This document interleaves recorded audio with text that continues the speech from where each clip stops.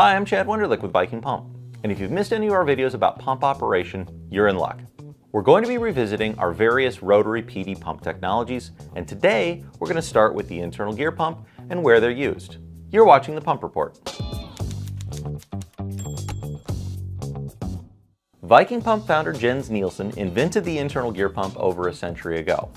This simple design features only two moving parts, a drive gear called a rotor and a driven gear called an idler. The rotor is an internal gear with its teeth pointed inward. The idler gear is an external gear and has fewer teeth than the rotor, creating an offset between the gears. A crescent on the head of the pump separates the two gears, creating a series of pumping cavities between both the rotor and the idler. And here's how it works. The liquid enters here, at the suction port, between the teeth of the rotor and idler gears. As those teeth come out of mesh, a low pressure zone is created and the liquid is pulled into the spaces between the teeth.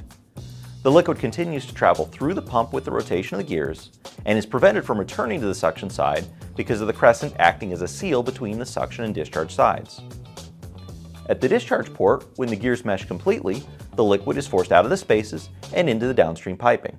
Internal gear pumps are used in a wide variety of applications because they're suitable for a wide range of viscosities and come in a variety of sizes and constructions. Some of the most common applications include asphalt, adhesives, and chocolate. Internal gear pumps can be opposite ported like our animation showed, or right angle like our display pump. They can also be designed to operate in either direction of rotation, changing the direction of flow with the direction of rotation of the gears. To learn more about internal gear pumps or to view other pump reports, please visit our website at vikingpump.com.